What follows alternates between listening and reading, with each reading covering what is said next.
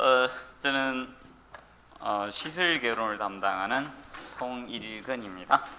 자, 어, 올해 어, 이제 이번 준비는 18회 준비입니다. 그래서 작년 시험 난이도가 어려웠습니다. 그래서 올해는 아마 찬스가 될 겁니다. 제가 찬스라 하면 항상 쉬웠습니다. 그래서 합격하기에 조금 편안한 해입니다. 그래서 어, 이 자격증 딸 때는 그 운대가 좀 맞으면 쉽겠다고요. 운대가 나쁘면 항상 어려울 때 시험을 계속 치는 분이 있습니다. 한 해는 열심히 공부해가지고 떨어지니까 다음에 시안 한다고 안 했지만 다음에 쉬고 그 다음에 또 어려울 때 또 공부하고 이런 분들이 꽤 많습니다.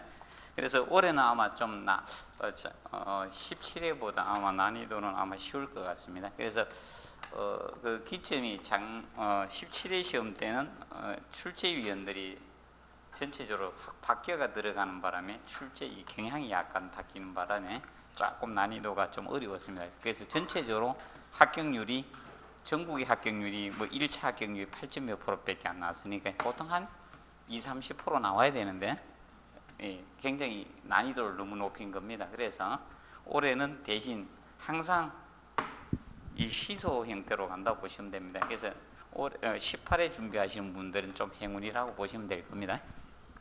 자, 그래서 이 어, 어, 제1장 총론부터 해서요. 어, 제일 처음이니까 기본적인 용어 베이스를 잡으면서 가도록 하겠습니다. 그래서 기본적인 용어에서도 시험이 한 몇 문제 정도 출제가 됩니다. 자, 그러면 제1장 총론 파트 건축 구조편에서 제1장 총론 파트부터 시작하도록 하겠습니다.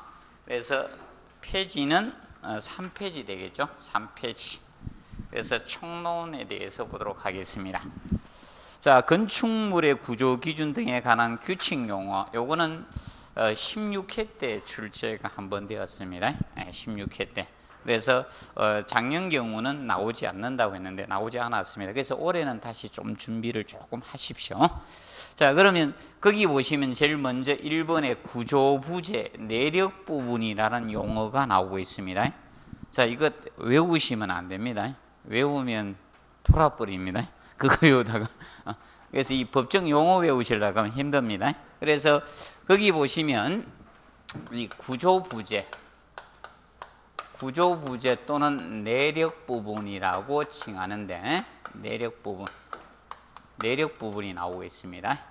그러면 거기 보면 뭐 이렇게 나오죠. 건축물의 기초, 벽, 기둥, 뭐 바닥판, 지붕틀, 토대 이런 것 나오는데 이런 걸 암기하는 거는 시험에 없습니다. 그래서 개념만 알아주시면 되겠습니다. 그러면 이것은 자 구조부재라는 것은 이걸 구조부재라고 칭합니다. 자 우리도 사람으로 자 보시면 됩니다. 사람도 힘을 받아줄 수 있는 것이 있고 힘을 못 쓰는 것도 있죠. 어떤 사람은 덩치만 좋고 힘 못 쓰는 사람들 꽤 많죠.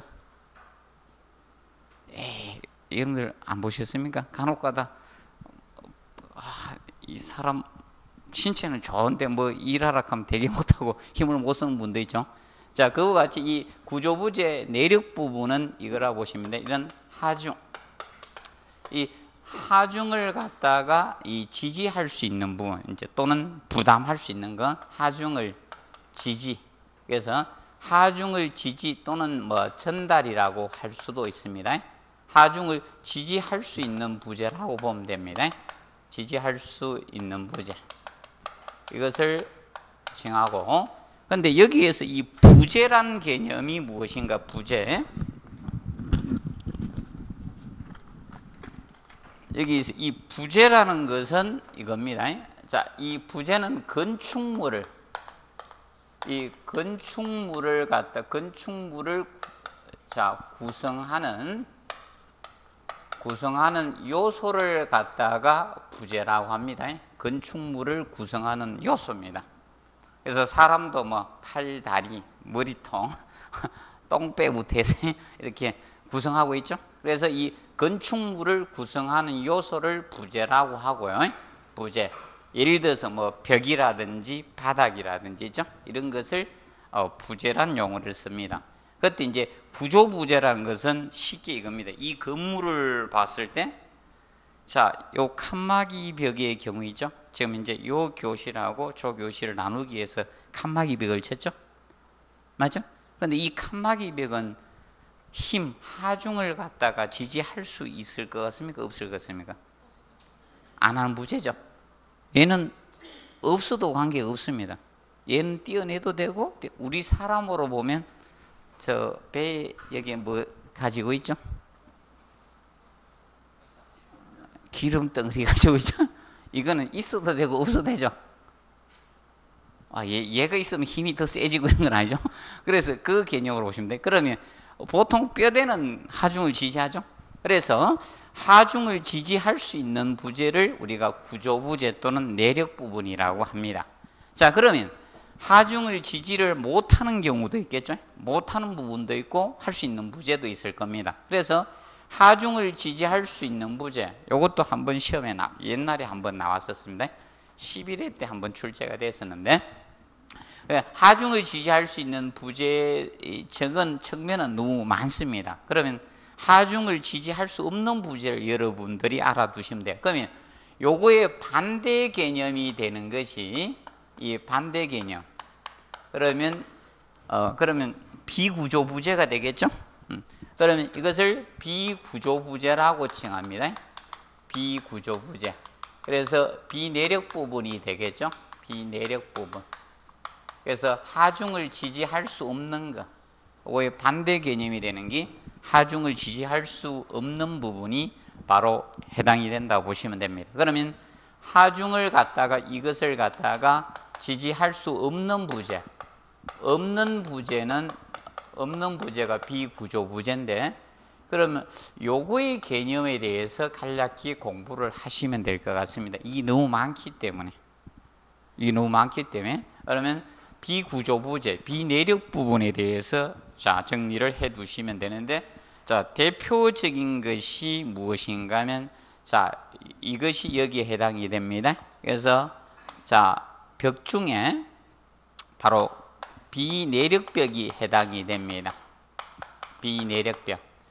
보통 이 벽을 나눌 때 벽은 이렇게 나누고 있습니다. 벽. 그래서 여러분들 이제 상식적으로 하십시오.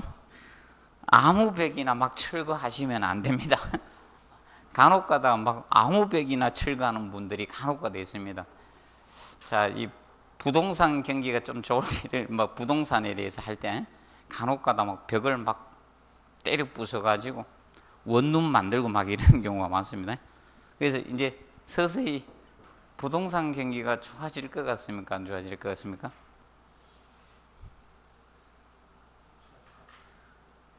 아, 정책을 빨리 판단해야 되죠. 무조건 좋아질 수밖에 없습니다. 강제적으로 맞죠? 신도시 개발 안 한다 하죠. 이제 대형 도시 개발 안 한다 하고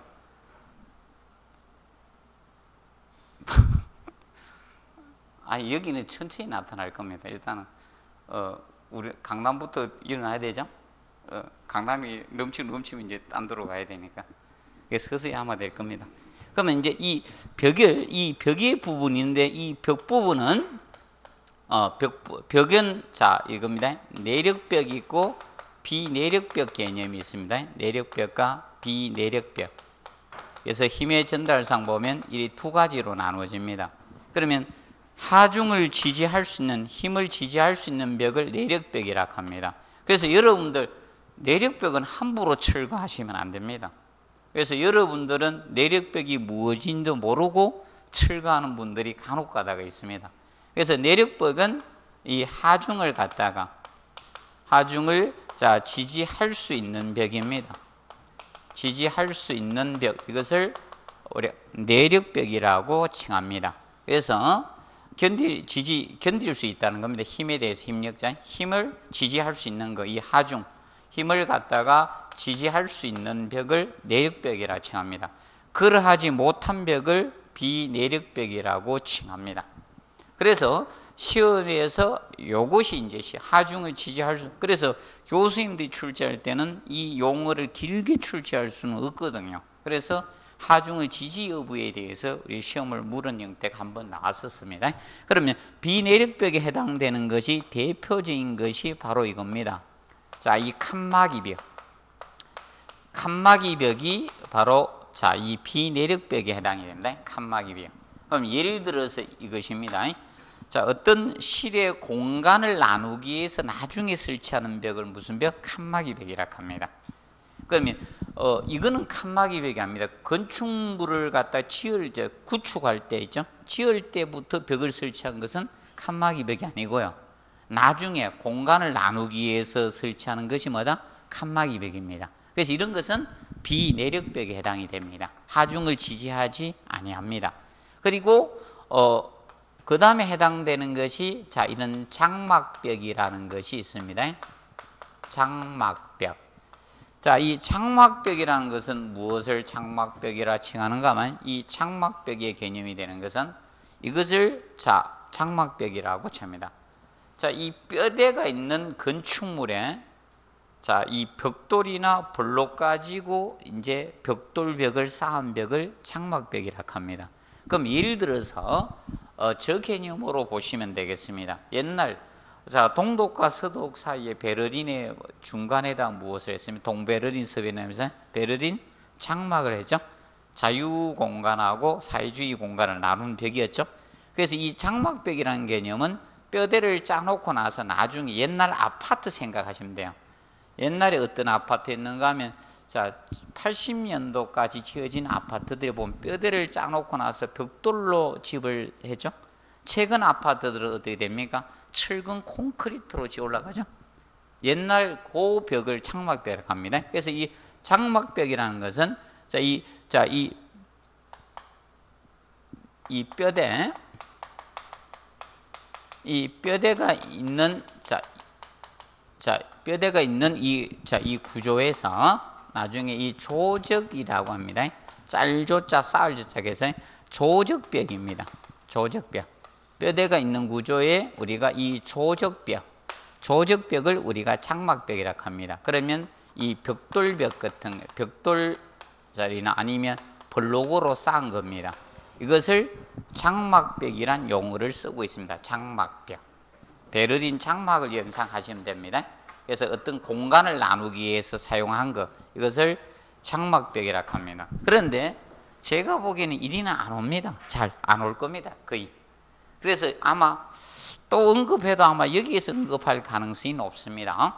그래서 이런 부분에 아, 칸막이 벽은 바로 자 이런 자 비구조부재 비내력 부분에 해당이 됩니다. 간략히 알아두시기 바랍니다. 자 그리고 밑에 보시면 자 거기에 주요 구조부가 나옵니다. 주요 구조부 자, 주요 구조부는 자, 요거는 어, 보통 건축법 건축법에 나오는 용어죠. 건축법. 건축법에 나오는 주요 구조부를 잡아놨습니다. 그래서 거기 보면 내력벽, 기둥, 바닥, 포, 자, 지붕틀, 어, 주계단 해가지고 나옵니다. 총 6가지가 됩니다. 그래서 내력벽하고 내력벽 그리고 자 그리고 법 지붕틀 순서는 이 순서로 하시면 되겠습니다. 자 바닥 주계단 그리고 기둥 총 여섯 가지입니다. 이것이 주요 구조부입니다. 주요 구조부. 자, 주요 구조부는 왜 발생이 됐나 가르쳐 드리겠습니다. 주요 구조부는 재난입니다. 특히 이 하재 시 하재란 재난을 기준을 잡아서 측정했습니다. 건축물의 부재 중에 하재가 발생했을 때 그 부재가 붕괴되면 굉장히 건물에 위태로운 것들을 법에서 여섯 가지를 정리해 놓은 겁니다. 그럼 예를 들어서 이겁니다. 자, 예를 들어서 저거 보세요. 최하층 바닥이 아니고 그냥 바닥이에요. 그래서 거기 보시면 이렇게 해놨죠? 거기 보면 사익 기둥이나 최하층 바닥, 자금보, 차양 이런 거 나오죠? 어, 이렇게 나왔습니다. 그래, 이런 거는 주요 구조가 아니에요. 그 최하층 바닥은 아니라는 겁니다. 왜냐하면 최하층 바닥의 경우는 땅하고 접하고 있기 때문에 하재가 발생합니까? 안 합니까? 안 하죠. 발생해도 붕괴가 안 된다는 거예요. 근데 지금 현재 예를 들어서 지금 층이 있죠. 지금 한 층, 두 층 이렇게 있을 때 우리 여기서 화재가 나서 불이 가해지면 위층의 바닥이 붕괴될 수 있죠. 그런 것은 주요 구조부에 흔한 겁니다. 그래서 거기 보시면 기초도 아니죠. 기초. 기초는 땅, 아, 예를 들어서, 예를 들어서 기초는 주요 구조부에 안 들어가 있죠. 기초. 기초는 땅 속에 있는 구조이기 때문에 주요 구조부에 들어가지 않는 겁니다. 자, 그래서, 자, 이 총 여섯 가지를 주요 구조부라고 합니다. 그런데 여러분이 조금, 어, 이, 여기에 관련된 분들은 아는데 조금 힘든 용어가 이거예요. 이거 보하고, 내력벽은 여기에서 설명해 드렸고요. 하중을 지지할 수 있는 벽. 그러면 내력벽과 비내력벽 구분하는 점 가르쳐 드리겠습니다. 간단히 이거 구분 못하는 분도 많습니다. 아, 전공하고도 구분 못하는 사람이 있습니다. 아니 건축과 내가 물어보니까 모르는 학생들 많아. 4년 뒤 대학교 나와가지고 모르는 사람들 꽤 많습니다. 그럼 내력벽과 비내력벽 구분하는 점은 이겁니다. 건물을 부조물 뼈대를 쌓아 올라갈 때 설치되는 벽이 내력벽이에요. 그러면 나중에 뼈대 골조를 짜놓고 나서 나중에 추가적으로 공사하면서 추가적으로 넣어주는 벽은 비내력벽이라고 보시면 됩니다. 그래서 여러분들도 이거라고 보시면 되죠. 비계는 기름 지방 덩어리는 태어날 때부터 타고 나왔어요. 나중에 찌는 거예요. 나중에 많이 드셔가지고 차곡차곡 저축하는 거죠. 맞죠? 그런 것이 비내력벽이라고 보시면 됩니다. 그리고 쉽게 구분할 때 이렇게 구분하시면 됩니다. 자, 여러분들 보면 주변에 기둥이 있는 건물이 있고 기둥이 없는 건물이 있죠. 맞죠? 최근에 건물들 보면. 그러면 기둥이 없는 건물의 벽은 내력벽입니다. 기둥이 없는 건물은. 그런데 기둥이 있는 건물의 벽은 거의 내력벽일 가능성이 높고요. 그럼 이 건물에 기둥이 있죠? 기둥이 있는 건물은 거의 이런 벽들이 전부 다 무슨 벽이다? 비내력벽입니다. 하중을 지지 안 합니다. 그럼 기둥이 담당하고 있는 거예요. 기둥이. 그렇게 보시면 됩니다. 그러면 기둥이 있는 건물의 내력벽은 어디에 있는가 하면 계단실이 있죠? 계단실하고 엘리베이터 있는 쪽 있죠? 그 벽이 내력벽이에요. 혹시나 안전을 위해서 어, 지진이 약간 흔들린더라. 그러면 어디로 뛰십니까? 계단으로 빨리 뛰시면 됩니다. 그거가 제일 튼튼해요. 건물이 잘 붕괴가 안 됩니다. 그래서 여러분들 꼭 사시고자 하면 명심하세요. 흔들림이 있더라. 혹시나 우리나라에 지진 안 오는데 혹시나 혹시 모르는 거 아닙니까? 맞죠? 그러면 어디로 뛰셔야 됩니까? 계단 엘리베이터로 뛰면 안 된다니까. 엘리베이터로 뛰면 안 되고. 자, 엘리베이터는 엘리베이터 가동이 중단되면 안에서 죽을 수도 있어요. 근데 특히 화재가 나면 엘리베이터를 절대 뛰면 안 됩니다. 어, 철판 통구이 됩니다. 철가 방송에 통구이 됩니다. 절대로 엘리베이터를 뛰면 안 돼요. 비상시는 항상 어디로 간다? 계단입니다. 그걸 꼭 명심하시기 바랍니다. 그건 기본이 돼 있어야 됩니다. 항상 살기 위해서 보시고 그래서 음, 어, 보면 이 어, 여러분 이제 내력벽 받고 그다음 이 보의 개념 보라는 것은 자 이겁니다. 자 보통 어, 그림 잠깐만 보고 오겠습니다. 페이지 12페이지 보시면 자 거기에 12페이지에 보시면 자 거기 기둥이 있죠? 기둥 나오죠? 거기 이제 큰 보라는 글, 글씨가 있죠? 큰 보. 그리고 작은 보에서 보가 나옵니다. 보. 그러면 이 보는 어, 사실 큰 보가 있고 작은 보가 있습니다. 작은 보가 있는데 보통 앞으로 보하면 보라는 것은 대표적 이 보를 이야기합니다. 얘를 큰 보를 이야기합니다. 큰 보. 작은 보를 이야기하는 것이 큰 보를 이야기합니다. 보. 보는 자 여러분들 이겁니다. 보는 자 강의도 있었습니다. 자, 이명박 대통령이 4대 강사업 하면서 수중보 많이 들어봤죠? 가로질렀잖아요. 맞죠? 강을 가로질러 지나가죠. 그래서 이 수중보락 하잖아요. 그럼 이 보, 어, 큰 보라, 이큰 보는 이 기둥하고 기둥과 이 기둥을 연결하는 이 수평부재입니다. 수평부재가 바로 자 큰보의 개념입니다. 큰보. 이 기둥과 기둥을 연결해야 됩니다. 기둥과 기둥을 연결하는 수평부재가 큰보입니다. 그러면 작은 보는 이 보하고 보를 연결하는 겁니다. 큰 보와 이 큰 보를 갖다가 연결하는 거예요. 연결하는 자, 이 보를 갖다가 작은 보라고 칭합니다. 작은 보. 작은 보라 합니다.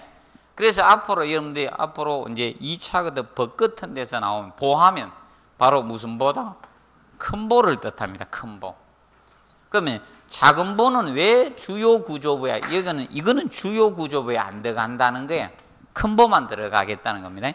왜 그런가 하면 작은 보가 만약에 하재로 인해서 파괴되더라도 큰 보가 지탱을 해주거든요.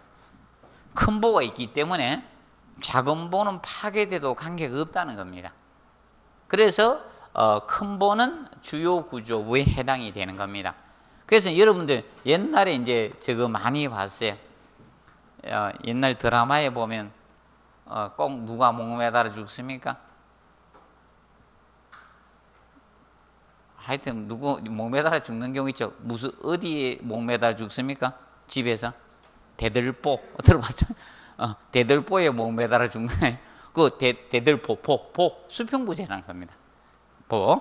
그래서 이 보의 개념 간단히 알아두시고 그다음에 이제 계단. 계단은 아는데 여러분이 이제 이 주계단 이 주계단이란 것은 자 이것을 주계단이라고 칭합니다. 옥외계단은 주계단이 될 수가 없습니다. 옥외계단은. 그러면 주계단이란 것은 여러분들이 이것을 주계단이라 합니다. 보통 주통로로 사용이 되면서 바로 내려와야 돼요. 여러분들 보시면 어, 백화점 같은 데 가보면 에스컬레이터 뭐 계단 대신 에스컬레이터 같은 걸 설치하는데 어? 계단이 이렇게 내려오다가 청에서 이렇게 계단을 내려오다가 어? 계단이 없어지면 이거는 주계단이 아닙니다. 그럼 바로 피난층까지 바로 주, 바로 다이렉트로 내려와야 됩니다. 그것이 이제 직통계단이 주계단이 되는데, 그러면 이 주계단은 어, 주의하실 것이 옥외계단은 여기 안 들어갑니다. 옥외계단, 옥외계단은 주계단에 들어갈 수가 없습니다. 그럼 나머지는 보통 계단이란 것은 자 건물의 수직 상하 수직 통로를 뭐다 계단이라고 칭하는데 그때 계단은 5개 계단은 될 수가 없습니다. 5개 계단을 빼고 바로 피난층과 직하로 내려오는 걸 주계단, 주통로로 사용되는 계단을 주계단이라고 칭합니다. 자, 그래서 지금 현재 이 주요 구조부에 대해서 여섯 가지를 봤고요. 뭐 아마 2차에서 시험이 나올 겁니다. 우리 1차에서는 잘 안 내더라고요. 우리 시험에는 아직 안 냈습니다. 다른 데는 냈는데 혹시나 나올 수도 있습니다. 그래서 간단히 한번 봐두세요. 외우시려면 이 순서로 외우시면 되겠습니다. 이게 제일 쉽답니다. 어, 서울대상의 암기법이라고 합니다. 저한테 서울대세, 어, 아, 서울대성도 시험 쳤었어요. 졸업하신 분. 아, 몇분 있어요. 예. 제가 두 분 알거든요. 근데 그분은 이렇게 암기하라 하더라고요. 그래서 여기서 암기하지 마시고 집에 가서 암기하시고. 그 다음에 어, 2번에 보시면 부재력 나와요. 부재력. 자, 부재력 또는 응력이라고 칭합니다. 응력. 자, 부재는 이야기했죠. 앞에서. 자, 건축물을 구성하고 있는 요소가 부재력이, 부재였고, 력, 부재력 또는 응력이라고 칭하는데. 자, 그러면 그 용어상 이렇게 해놨죠. 부재력은 하중 및 외력에 의해서 구조 부재에 생기는 축방향력이나 힘 모멘트, 전단력, 비틀림을 말한다. 이렇게 해놨죠. 자, 그러면 다른 거 아니고 쉽게 이겁니다. 이런 부재가 있습니다. 이런 구조 부재가 있었습니다. 구조 부재가 있었어요. 예를 뭐 기둥이든 벽이든. 그러면 여기에 작용되는 힘이 작용이 됐다. 그러면 어, 제일 먼저 뭐가 나옵니까? 축방향력 나오죠? 축방향력. 자, 축방향력에 대해서 먼저 자 봅시다. 축방향력. 자, 이 축방향은 이것을 축방향이라고 합니다. 축방향은 어떤 자 이런 부재가 있었습니다. 음, 뭐 말뚝이나 뭐 통나무가 있다 가정하겠습니다. 이렇게 있으면 이 자 단면의 중심, 요 단면의 중심, 요걸 보통 그 도면의 중심을 그리고 요걸 도심이라 합니다. 요걸 도심이라고 칭하는데 이 도심과 도심을 연결하는 자, 이 선을 갖다가 이 선을 갖다가 축 방향이라고 해요. 이 방향이 축 방향역이 축 방향이라고 첨네. 축 방향. 쉽게 이렇게 보시면 됩니다. 어떤 부재가 있을 때마다 길이 방향의 도심 중심을 연결하는 선이 있죠. 이것이 축 방향입니다. 축 방향. 그러면 축 방향력이니까 축 방향으로 작용되는 뭐다? 힘. 이것을 축 방향력이라 합니다. 축 방향은 결과적으로 축 방향으로 축 방향으로 작용하는 힘입니다. 이것을 축 방향력이라고 합니다. 축 방향력. 축 방향력이라고 합니다. 그러면 쉽게 이건 축방향력 되겠네요. 아, 여러분들이 옛날에 옛날에 보면 여성분들은 무거우면 짐을 들고 다닐 때 어디에 이었죠? 머리에 이었죠. 그 머리에 무겁게 되면 뭐 어이구 위에서 막 누르죠. 이게 바로 축방향력입니다. 자, 그리고 그러면 축방향력에는 어떤 힘이 있는가? 자, 예를 들어서 축방향으로 작용하는 힘을 축방향력이라 하는데 그럼 이것이 이게 이제 16회 때 냈던 건데 자 인장력하고 압축력이 있습니다. 인장력과 압축력 이 두 가지가 있는데 인장력, 압축력 어, 시설계론 처음 하신 분들은 와 이상한 용어가 많이 나와서 좀 힘듭니다. 예. 그래서 인장력과 압축력이 있습니다. 그러면 인장력이라는 것은 자 이겁니다. 잡아 당기는 힘을 인장력에 어떤 부재가 있을 때 이렇게 잡아 당기는 힘. 그래서 얘는 이 잡아 당기는 힘입니다. 잡아 당기는 힘은 어, 인장력이고 압축력은 누르는 힘입니다. 어떤 부재가 있을 때 이렇게 누르는 힘. 그래서 이 누르는 힘을 갖다가 압축력이라고 합니다. 압축력. 인장력, 압축력. 그럼 예를 들어서 이것이죠. 여러분들이 고무줄이 있는데 고무줄을 양쪽에서 잡아 당겼습니다. 잡아 당기면 이건 뭐다? 인장력입니다. 인장력. 고무줄 잡아 당겨. 옛날 초반에 개그 안 웃기면 고무줄 가지만 했죠. 잡아 당겨 탁, 탁 따고. 맞죠? 네. 자, 그래서 어, 이런 인장력이 있고 반대로 누르는 힘이 압축력입니다. 자, 그러면 이 축방향력이 자, 인장력과 압축력인데 그러면 예를 들어서 한번 보도록 하겠습니다. 그럼 부재 중에서 그러면 기, 자, 보통 이 축방향력 중에서는 자, 이름들 수직 수직으로 있는 부재, 수직 부재가 대표적인 것이 뭔가 하면 기둥하고 벽이 수직 부재죠. 수직으로 썼죠. 예를 들어서 이겁니다. 지금 현재 이 기둥은 수직이죠. 아닙니까? 그래서 우리는 보통 서 있을 때는 수직 부재고 잠을 잘 때는 무슨 부재입니까? 수평 부재죠. 맞죠? 누워서 자잖아요. 그러면 이제 틀려집니다. 그러면 보통 수직부재인 기둥이나 벽은 수직부재인 기둥이나 벽은 어떻게 됩니까? 이 수직부재인 기둥이나 벽은 압축력을 받을까요? 인장력을 받을까요? 한번 우리 서 있는데 막 잡아 당겨집니까? 아니죠? 압축력을 받는 겁니다. 그러면 이 수직부재인 기둥이나 벽은 압축력을 받는 거예요. 이게 이제 16회 때 시험 낸 거예요. 그런데 인장력을 받는다고 이렇게 시험을 출제를 했었습니다. 그러면 수직부재는 압축력을 보통 누르는 힘을 많이 받습니다. 누르는 힘. 음. 그래서 이 수직부재는 기둥이나 벽을 자 우리가 수직부재는 압축력을 받아요. 그러면 예를 들어서 그럼 기둥에 이제 압축력이 가해졌습니다. 압축력을 가했습니다. 압축력을 가하면 그러면 이 구조 부재에 여기에 내부에서 그 압축력에 견디기 위해서 저항을 해, 자, 반대 힘이 발생을 해야 돼, 안 해야 되겠습니까? 해야 되겠죠. 그러면 이겁니다. 그래서 이 구조부재, 그래서 어떤 힘이 작용했을 때 이 구조부재에 생기는 힘을 갖다가 응력이라 하는 게 부재력. 이, 이 구조부재 내부에 이 생기는 힘입니다. 생기는 힘이 바로 응력입니다. 응력 또는 부재력이란 용어를 씁니다. 부재력.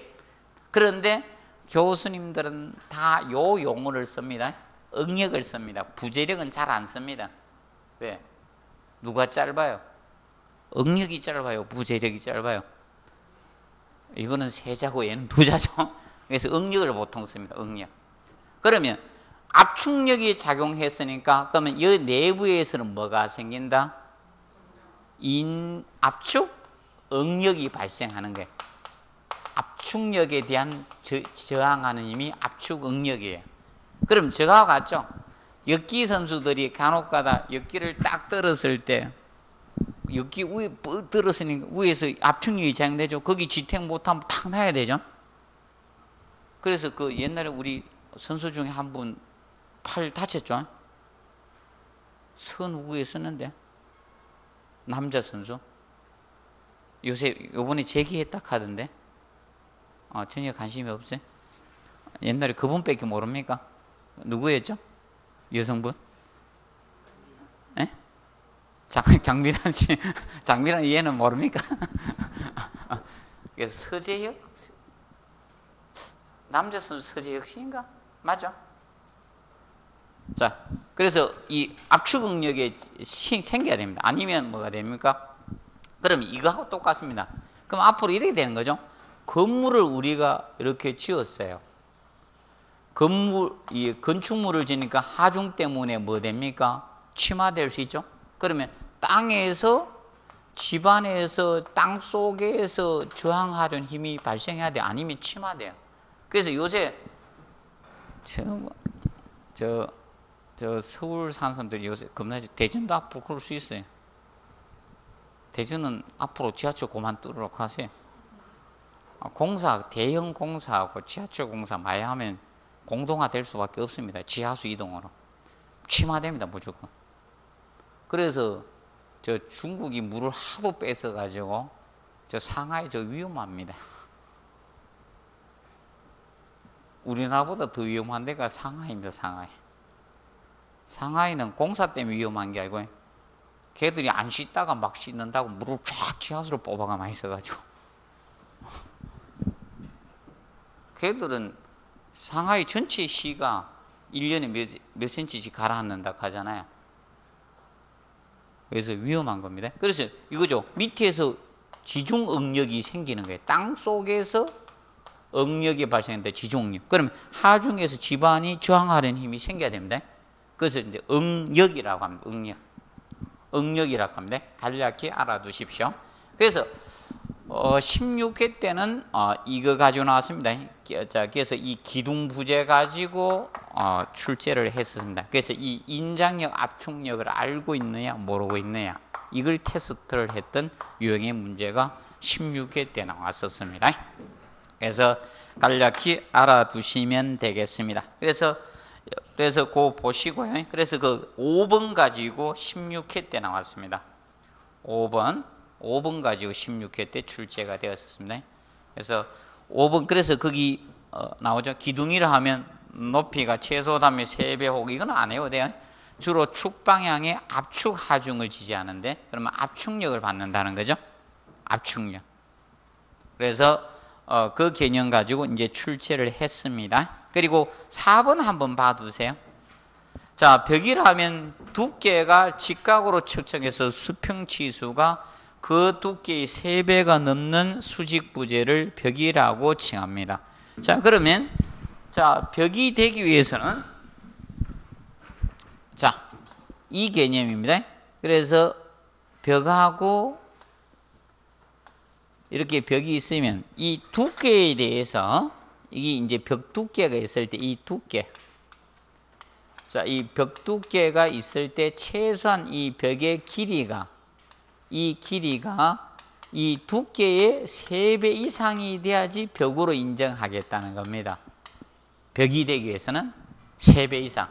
그러면 이 두께, 두께의 3배 이상입니다. 그럼 예를 들어서 요 벽 두께가 20cm였다고 가정합시다. 20cm였으면 이 길이가 얼마 이상 돼야 된다? 60cm 이상 돼야 된다는 거예요.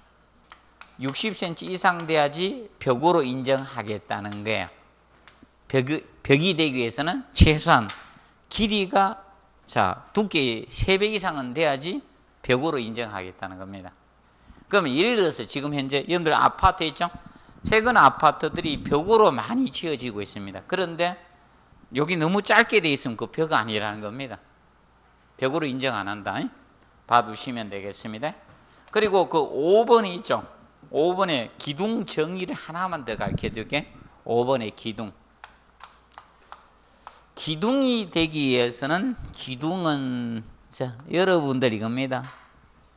집에 애, 어린 애 보고 아이고 너는 우리 집안의 기둥이다 이러면 안 됩니다. 부캐가 기둥이에요. 맞죠? 커봐야지 기둥 될지 안 될지 알죠? 맞아요? 요새 뭐라고 하죠? 캥거루족이라 합니까? 부모님한테 딱 붙어서 나는 살다요.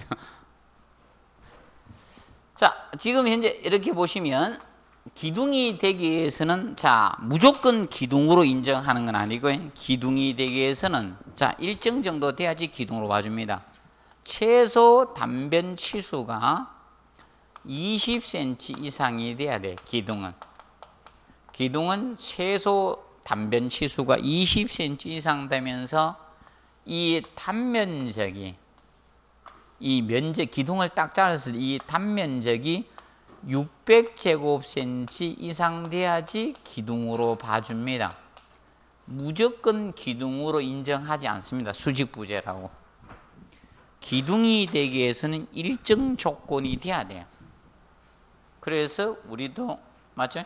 투표권을 막 안 주죠. 맞죠? 그래서 기둥은 최소 단변 치수가 20cm 이상 되면서 단면적이 600제곱cm 이상 돼야지 어, 기둥으로 인정을 합니다. 기둥. 아 이런 거는 막 쓰려고 노력하지 말고 혹시나 가르쳐 드린 거고 너무 열심히 할 필요 없습니다. 그러면 여러분들 어, 이거는 좀 아셔야 됩니다. 자, 앞으로 이제 공 축방향력 적이 많이 나올 겁니다. 압축력, 인장력. 이런 문장이 많이 나올 겁니다. 그건 꼭 정리 하나 하세요. 잡아 당기는 힘이 무슨요? 인장력. 누르는 힘이 압축력이에요. 그러면 수직부재는 압축력을 받고요. 반대로 그럼 수평부재는 무슨 힘을 받는다? 빨래줄 기억하면 돼요. 빨래줄에다가 빨래를 넣게 되면 잡아 당겨지겠죠. 축 처지겠죠. 맞죠? 힘이 생기면서 인장력이 발생합니다. 맞아, 휘어지죠? 힘 모멘트가 휘어지면서 보통 인장력이 발생하는 겁니다. 그리고 자 거기 보시면 어, 2번에 보면 전단력이라는 용어가 나올 겁니다. 전 2번에 그 뒤쪽에 전단력 이제 시험 우리 자주 언급되는 거 자 정리해 드릴게 전단력 어 부재를 아 참 용어를 써놨구나 뒤에 자 용어는 자 저기 보시면 나옵니다 전단력 개념이 페이지 11페이지 보십시오 아 아니다 아니구나 거기 없구나 아, 12페이지입니다 12페이지 12페이지 제일 하단에 보시면 거기 전단력 해가지고 나옵니다. 예. 그래서 가위처럼 자르는 힘을 전단력이라고 합니다. 절단하려고 하는 힘입니다. 자, 그러면 이런 부재가 있으면 그래서 이 두 개의 반대 힘에 의해서 이 부재를 자르려고 절단하려고 하는 힘, 이게 전단력이에요. 그러면 보통 가위로 종이를 절단하죠? 자르죠? 이것이 무슨 힘이다? 전단력이에요. 이 전단력이란 용어를 씁니다. 전단, 절단하려고 하는 힘, 자르려고 하는 힘을 전단력이라고 합니다. 전단력. 그러면 여러분들이 전단력은 어, 보통 이거 보시면 됩니다. 그럼 전단력은 어디에 커지는가? 전단력은 항상 요걸 기준을 잡으면 손을 이렇게 들고 있으시면 됩니다. 그러면 어디가 아픕니까? 아픈 데가 전단력 큰데 손끝이 아픕니까? 여기 어깨가 아픕니까? 어깨가 아프죠? 그럼 여기가 전단력이 커지는 그러면 전단력은 예를 들어서 이렇게 건물이 있을 때 보시면 여기 기둥이 있다. 여기 자 여기 보가 있다. 이래 수평부재가 있으면 여기 여러분들 막 하중을 가하고 있습니다. 이렇게 그러면 보통 자 그 부재하고 힘이 가까이 있으면 전단력은 커집니다. 절단하려고 하는. 그러면 왜 그런가 하면 이것 때문에 그렇습니다. 위에서도 힘이 작용이 되지만 이 부재 내부에서도 응력이 생겨야 되거든요. 저항하려고 하네. 그래서 이 두 개의 힘이 가까워야지만 전단력이 커져요. 그래서 여러분들 이거 보시면 돼요. 가위가 붙어야지 종이를 절단합니까? 벌어져야지 종이를 절단합니까? 붙어야 되죠? 그래서 미용 가위하고 엿장수 가위를 비교하시면 돼요. 엿장수 가위는 두 날이 어떻게 떨어져 있죠? 그래 소리 나야지. 아이 저 호박 곁에 가위 한 번씩 쇼 하는 나오죠? 거기 엿장수 대 치고 다니죠? 그는 둘이 벌어졌거든요. 그거는 절단하는 용 아니죠? 여칠 때 때리고 소리 내고 어, 홍보용 아닙니까? 그런 용으로 많이 하는 거고 그래서 어, 이 전단력은 어, 힘이 가까워야지만 전단력이 커집니다. 그래서 제가 직접 한번 실험을 해 보겠습니다. 전단력에 대해서는. 그럼 지금 현재 이 부재가 있을 때 이겁니다. 밑에서 하, 지탱하고 있으면 위에서 누를 때 이 분필이 절단되는 부분이 가장 전단력이 큰 부분이라 보시면 돼. 가까이 절단되죠? 전단력은 어, 어, 이런 기둥 가까이 갈수록 전단력은 커집니다. 항상 어떤 부재. 그래서 전단력은 명심하세요. 어느 쪽이 커진다? 가까이 갈수록. 그래서 여러분들 이겁니다. 일본에 한 2, 3년 남았을 겁니다. 대지진 오기 전에. 2, 3년 정도 아마 남았을 겁니다. 저 아베가 하도 지랄하는 바람에 아마 올 겁니다. 아베 재임 기간 내에 아마 오지 않겠나 봅니다. 자, 그래서 지진이 오죠? 지진이 오면 이겁니다. 여기 집, 집안이 있는데 건물이 이렇게 서 있잖아요? 그럼 똑같습니다. 그럼 어디가 전단이 커진다? 자리로 하느님은 집안 가까이. 그러면 1층 부분이 제일 전단력이 큰 거예요. 1층에. 그럼 지진이 오게 되면 제일 먼저 붕괴되는 층이 어디다? 1층이에요. 1층. 그래서 1층은 사시면 안 됩니다.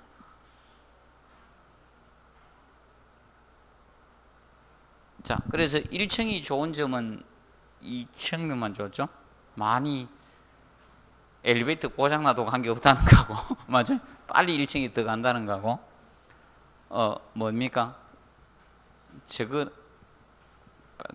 불나서 또 빨리 나갈 수 있다는 거, 이런 것만 좋은 점이고, 나머지는 나쁜 점이 굉장히 많습니다. 그래서 1층은 사지 마세요. 1층은 대지진 오면 바로 붕괴됩니다. 여기 제일 먼저 붕괴됩니다. 1층 붕괴가 됩니다. 그 건물이 붕괴될 때. 자, 그래서 어, 보시고 그래서 전단력이 최고 여기 절단됩니다. 건물이. 그래서 봐주시면 되고 그래서 전단력. 그래서 우리가 이제 보실 것이 자 이겁니다. 힘에서는 인장력, 압축력, 전단력을 기본 잡아 놓으셔야 됩니다. 앞으로 공부할 때 가장 기본이 이겁니다. 뭐 인장력, 잡아당기는 힘, 그 다음에 누르는 힘이 뭐다? 압축력. 그리고 전단력. 이 세 가지 힘을 기본적으로. 근데 그러면 전단력은 축방향력이 아니죠? 아까 축방향력은 아까 했죠? 여기에서. 축방향력은 인장력하고 압축력이죠. 이 축방향으로 작용되는 힘이 축방향력입니다. 그럼 전단력은 축방향력이 아니죠. 그게 직각으로 작용되니까 축방향력이 전단력은 아닙니다.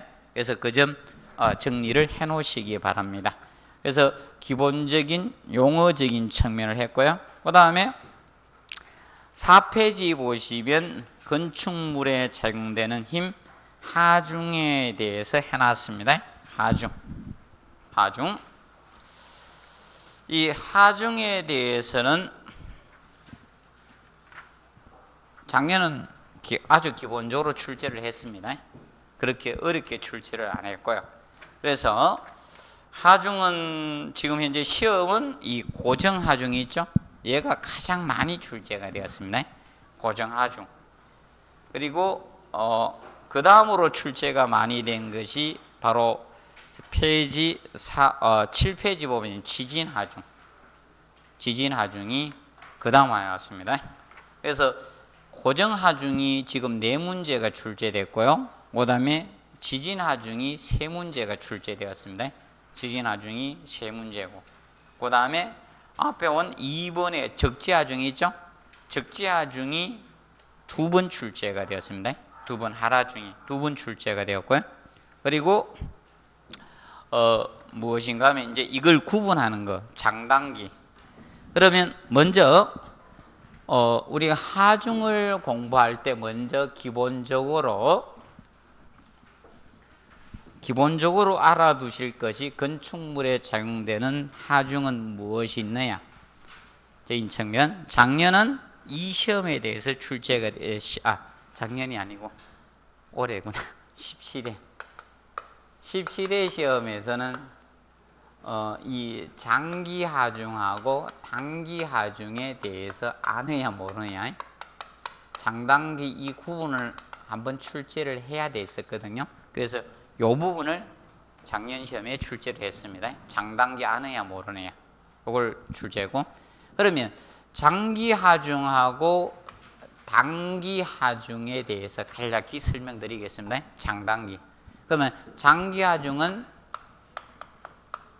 자, 이 건축물에 이 장기간 지속적으로죠.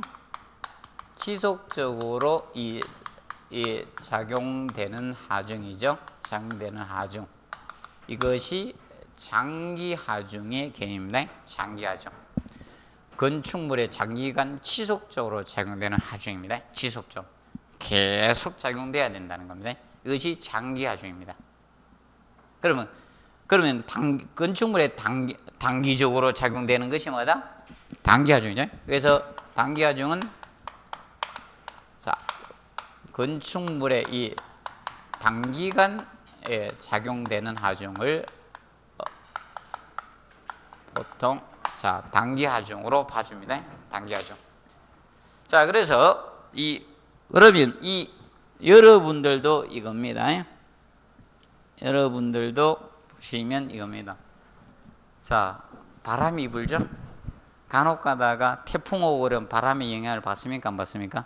받죠. 태풍이 매일 매 시간 계속 오는 거 알죠?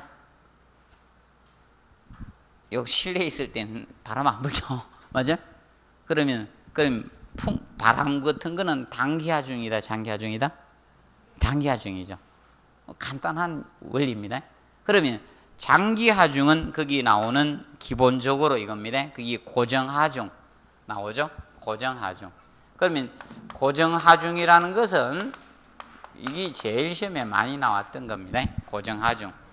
그래서 쉽게 이야기하면 이것을 어, 고정하중이라 보시면 사람으로 보면 뼈대 무게 사람 옷 다 벗고 이게 고정하중이면 옷 다 벗고 저 그다음에 저 대장 내시경 하려고 하면 쏙다 비워야 되죠.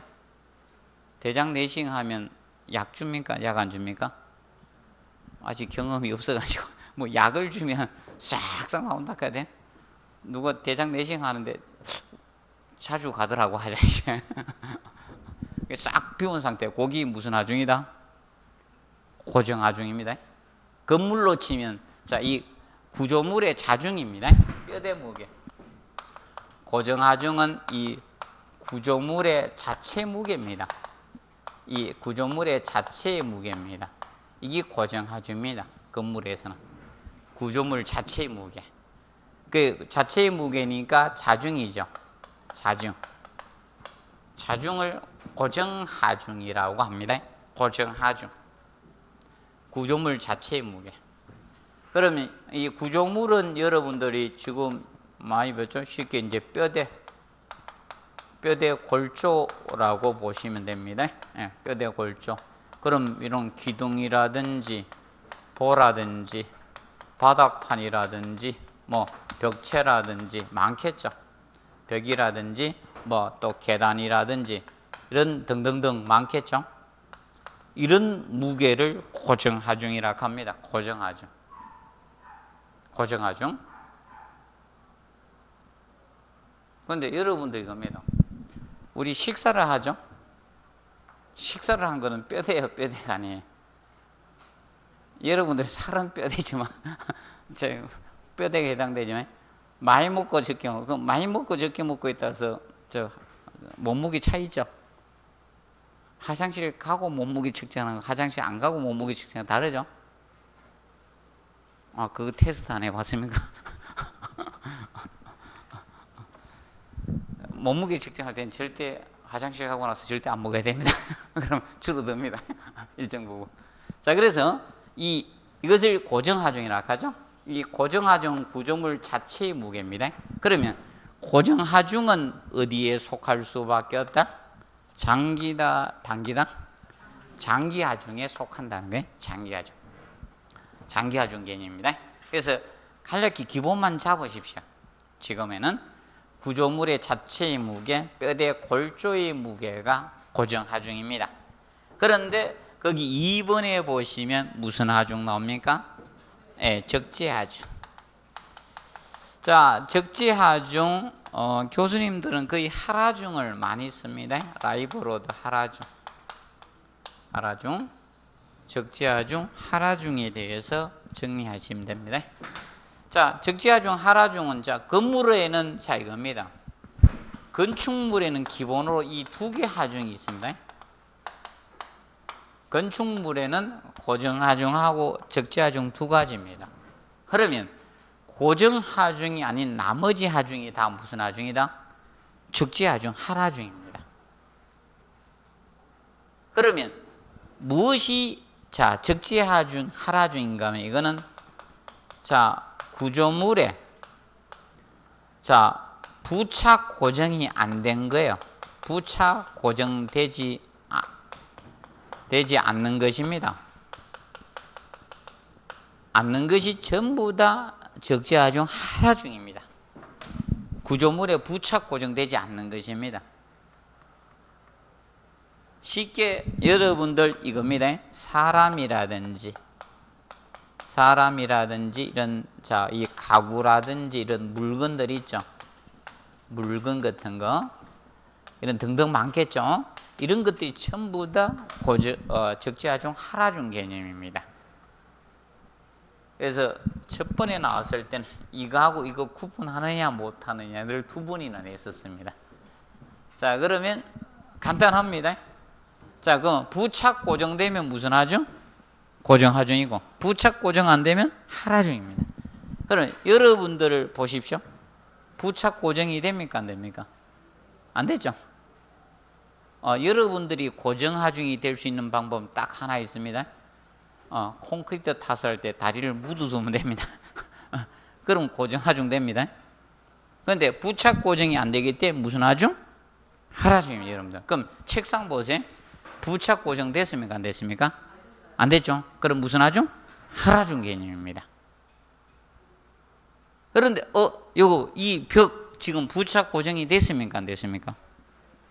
이거 됐죠? 그럼 이건 무슨 하중? 고정 하중입니다. 그런데 여러분들 간혹가다 이런 벽이 있습니다. 사무실에 가보면 그냥 중간에다 세우는 벽이 있죠. 큐비클 해가지고. 큐비클이 때문에 그냥 너하고 나하고 그냥 간단히 일어나면 보이고 안 일어나면 옆에 안 보이도록 되는 있죠. 그런 것들은 고정 부착 안 된 경우 있죠. 그런 것은 고정 부착 안 돼 무슨 하중? 하라중입니다. 이렇게 보시면 돼. 그래서 고정 부착 여부 가지고 간단히 따져 주시면 됩니다. 그럼 건축물에는 그럼 얘도 그럼 이 하라중이죠. 이 하라중은 어디에 해당이 된다? 장기 하중일까요? 단기 하중일까요? 단기? 여러분들 식사한 거 장기의 단계예요? 계속 있어요, 없어요? 없으면 단식해야 돼요. 계속 밀어내기 하고 있죠. 아, 바뀔 뿐이에요. 맞죠? 바뀔 뿐이에요. 자, 건물에 사람이 바뀔 뿐이 이사 가고 이사 오고 왔다 갔다 하고. 맞죠? 가구가 있다가 버리고 새로 사고 소파 찢어지면 새로 사고 했죠? 바뀔 뿐이에요. 계속 적용하는 겁니다. 그럼 무슨 하중이다? 장기 하중입니다. 그래서 건축물의 장기 하중은 고정 하중하고 무슨 하중? 하라중 이 두 가지가 장기 하중입니다. 명심하세요. 장기 하중 기본적으로 몇 가지? 두 가지였습니다. 가장 기본이. 자, 고정 하중하고 하라중 이 두 가지가 장기 하중으로 봐줍니다.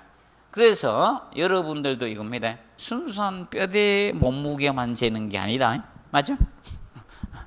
안에 적재 하중도 있다는 겁니다. 하라중도 있다는 겁니다. 그래서 기억하세요. 그래서 이 장기 하중은 이 두 가지 요소가 장기 하중에 속합니다. 정리를 해 두시고 그럼 나머지 요소는 무슨 하중이다? 단기 하중이라는 겁니다. 그러면 그 넘겨 보시면 뭐 적설 하중이나 이런 그 6페이지죠? 적설 눈이죠? 자, 눈에 건축 지붕 이 이래 쌓이는 눈의 무게가 적설 하중일 거고 그다음에 7페이지 봐요. 지진 하중. 지진 하중이나 이런 것은 그리고 넘겨보면 9페이지에 뭐 풍하중이나 이런, 이런 것들은 무슨 하중에 속한다? 단기 하중이라는 겁니다. 그래서, 자, 그런데 여러분들, 교수님들은 절대 특별한 분들이 들어오지 않는 이상 앞전에 조금 특별한 분들이 좀 들어가는 번에 에너지 전공하신 분 이런 분들 가서 앞전에 이거는 좀 내면 안 되는데 출제를 했어요. 교재 마지막에 한번 보십시오. 제일 뒤 647페이지 보십시오. 어. 어. 거기 보면 마지막 647페이지 BMS가 해놨습니다. 건물 에너지 관리 시스템 해가지고 이거 표준화도 아직 안 돼 있는데 이걸 갖다 시험을 출제했습니다. 아, 국토교통부에서 앞전 8월 며칠 날이더라? 우리 시험이 7월 며칠 날 텐데 이 8월 며칠 날 표준화하자고 공청회 했거든요. 이 시험에 나왔습니다. 난이도 조절하려고 낸 거죠. 그래서 그 국토교통부에서 해놓은 내용 개념 거기다 교재에다 해놨는데 아, 8월 달에 공청했다니까 이거 표준화하자고 이제 어, 이게 이제 시험에 출제가 됐습니다. 앞전에 그것도 영어를 다, 다 써놓으면 또 알까봐 어, 그 약자만 써가지고 이래 시험을 출제인데 좀 문제죠. 그래서 뭐 약간 이런 성향이 있습니다. 예, 교수님들이 난이 이, 듣도 보지도 못한 게 이런 걸 간혹가다 한 번씩 냅니다. 난이도 조절하려고. 그래서 여러분 앞으로 오셔가지고 예? 자, 그래서 이, 지, 어, 이런 거는 난이도 조절하기 위해서 기본 책에 없는 거 있죠? 이제 뭐, 이래 이제 발표한 거 이런 거 가지고 시사성으로 이렇게 내는 경우가 있습니다. 이런 거는 뭐할 수 없죠? 찍든지 틀리든지 둘 중에 하나 해야 됩니다. 자, 그래서 그런데 지금 현재 흐름상 이겁니다. 거의 기본은 이겁니다. 시험 가면 어, 이 개념을 아느냐, 고정 이걸 알면서 여러분들이 이겁니다. 건축물에 가장 저 일본 같은 경 피해를 많이 주고 있는 거 지금 현재 보면 한태평양 일대 지진이 굉장히 많이 생기죠. 그래서 올해는 다시 지진을 보셔야 됩니다. 이게 16회 때 제가 어 지진 하중이죠. 그 4, 7페이지 지진 하중이 1회 때 냈거든요. 1회 때 지진 하중이 그 7, 어, 1회 때 나오고 그 다음에 나온 게 10회였어요. 10회 때 나왔고 그 다음에 이제 16회 때는 제가 이건 꼭 나온다고 했던 건데 16회 때 출제를 했거든요. 16회 때. 그런데 이번 시험은 바로 나올 것 같습니다. 그래서 작년에는 할 필요가 없다고 했었는데 아마 이번에 바로 나올 것 같습니다. 느낌이? 느낌이 아마 바로 나올 것 같습니다. 그래서 이 지진 하중에 대해서 우리가 공부를 하셔야 됩니다. 올해는. 어, 저, 저, 구시열 기본만 하기 때문에 가장 기본만 할게요. 어려운 거 하면 다 도망갈까 봐요. 천천히 기본을 잘 잡아놓으면 됩니다. 그래서 기본만 잘 잡아놔도 시험은 의외로 잘 맞춥니다. 그래서 기본을 생무시하면요, 나중에 저 뒤에 가서는 특강하고 이럴 때는 기본을 안 하거든요. 기본은 안다는 가정하에서 그냥 건너뛰거든요. 무슨 말인지 알겠죠? 뒤에 가서는 기본은 잘 안 해줍니다. 그래서 기본기를 저 충실하게 잡아 놓으시기 바랍니다. 수업 시간에 충분히 할 수 있습니다. 자, 장기, 뭐, 뭐가 장기 하중이다? 건축물에는? 고정 하중하고, 어, 쉽게, 건물에 있는 하중이에요. 맞아? 지금 현재 건물 내에 지금 현재 하라중하고 고정 하중은 있죠? 이게 장기 하중인 거예요. 기본이. 그러면 바람이나 지진은 건물에 있어 없어요? 없죠? 실제로 없어요. 그것이 단기입니다. 그렇게 보시면 됩니다. 그렇게 접근해 주시고. 음. 그래서 이 지진 하중은 잠깐 휴식하고 하도록 하겠습니다. 음.